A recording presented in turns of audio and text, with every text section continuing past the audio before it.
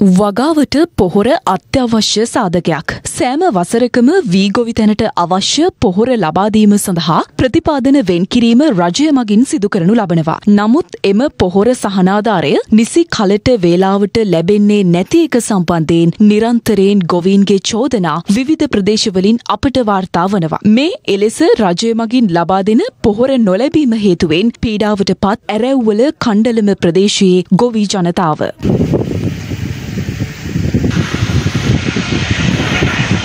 රජයෙන් නම් සහනාධාරය තමයි අපිට හම්බුනේ නෑ.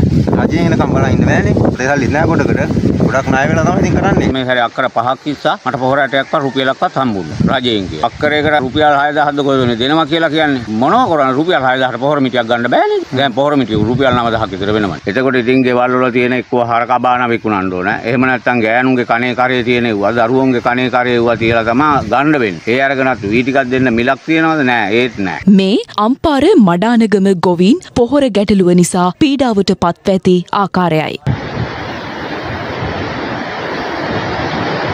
සිය දෙනෙක් කුඹුරු අත්හැරුණා. රජෙන් ඇවිල්ලා පොම් පුරුවවා වන්දි ගෙවනවා පාළු දෙනවා කිව්වා. ඒ කිසිම දෙයක් අද වෙනකන් නැහැනේ අපිට. කටින් විතරේ ඔක්කොම. ඡන්දය ගන්නකොට ආයි බෝ මාත්‍යෝ කියන්නේ එනවා. දැන් ගෙදර තියෙන වීගෝනිය කන්න තියාගත්ත එක කඩේට විකුණලා තමයි හොර ටික ගහලා තියෙන්නේ. මේ දුක් විඳින මේ අහිංසක මිනිස්සු ඉන්නේ මේ කුසිකර්ම දෙපාර්තමේන්තුවේ. නැත්තම් මේ රජේ විධිමත් වැඩ පිළිවෙලක් ක්‍රියාත්මක කරන නුදුන්නොත් වෙන්නේ අවංකවම ඇත්ත වශයෙන්ම ගොවියට වහ බොන්න වෙන තත්ත්වයට දැන්පත් වෙලා ඉවරයි.